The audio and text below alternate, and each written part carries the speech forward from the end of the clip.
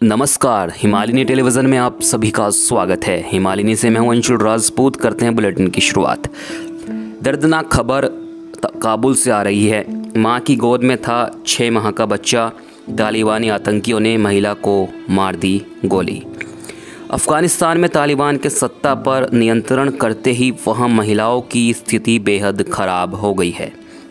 और उन पर कई तरह के प्रतिबंध लगा दिए गए हैं। ऐसे में अपने अधिकारों के लिए सैकड़ों महिलाएँ, महिलाओं के साथ मार्च करने के कुछ ही दिनों बाद अफ़गानिस्तान में तीन बच्चों की माँ की बेरहमी से हत्या कर दी गई। तीस साल की महिला फरवा तालिबान के आतंकियों द्वारा जान से मारने की धमकी के बाद भी विरोध करने के लिए सड़कों पर उतर आई थी। दो दिन बाद तालिबान के लड़ाकों ने उसकी बेरहमी से हत्या कर दी। द गार्जियन की रिपोर्ट के मुताबिक आतंकियों ने उसे क्रूर मौत दी। अफगानों के सड़क पर मारे जाने या उनके घरों में हमला करने का यह एक और उदाहरण है। यही वजह है कि तालिबान शासक की अराजकता से पीछा छुड़ाने के लिए लाखों लोग अपना देश अफ़गानिस्तान छोड़ना चाहते हैं। एक विदेशी वेबसाइट से बात करते हुए फरवा के भाई रोहुल्ला हुसैनी ने कहा कि उनकी बहन शुक्रवार को अपने घर में थी। जब उसने किसी को मदद के लिए चिल्लाते हुए सुना, अपने पति द्वारा बार बार घर में रहने की विनती के बावजूद फरवा अपने छः माह के बच्चे को गोद में लिए हुए मदद के लिए बाहर चली गई, जहाँ उसका तीन साल का बेटा भी पीछे पीछे दौड़ता हुआ पहुँच गया।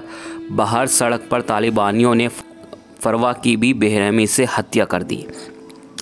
फरवा के मारे जाने के बाद उसके पति ने अपने तीन साल के बच्चे को यह कहकर उसके शव से दूर किया कि वह सो रही है। उसने इसके बाद जल्दी से पत्नी के शव को ढक दिया, हालाँकि उसका छः साल का बेटा ज़रूर समझ गया कि उसकी माँ को मार दिया गया है। आप आपको आगे बताते चलें, हुसैनी ने कहा कि तीन साल का बच्चा अपने पिता से पूछता रहता है, माँ कब पूछेगी और छः महीने के बच्चे को स्थानीय अस्पताल में भर्ती कराया गया है, क्योंकि वह लगातार माँ के लिए रो रहा है। वह अस्पताल में है और कुछ नहीं खा रहा है। हुसैनी ने बताया कि वह अपनी बहन की तस्वीरें भी नहीं दे सकता, क्योंकि उनके बहनोई हत्या के बाद से सदमे की स्थिति में हैं। उन्होंने कहा, हम नहीं जानते कि मेरी बहन को किसने गोली मारी, लेकिन वो बहुत गुस्से में थे। वो हर जगह दौड़ रहे थे और लड़ाई शुरू करने की कोशिश कर रहे थे।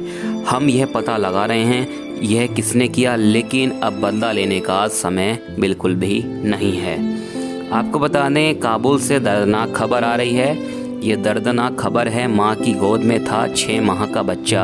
तालिबानी आतंकियों ने महिला को भी मार दी गोली। आगे भी आपसे खबरों का सिलसिला जारी रहेगा। बने रहिए हिमालिनी टेलीविज़न के साथ। और हाँ अगर अभी तक आपने हिमालिनी को सब्सक्राइब नहीं किया है तो आज ही हिमालिनी को सब्सक्राइब करें। साथ में बेल आइकन भी दबा दें, ताकि हमारी आने वाली कोई भी खबर आपसे ना छूटे।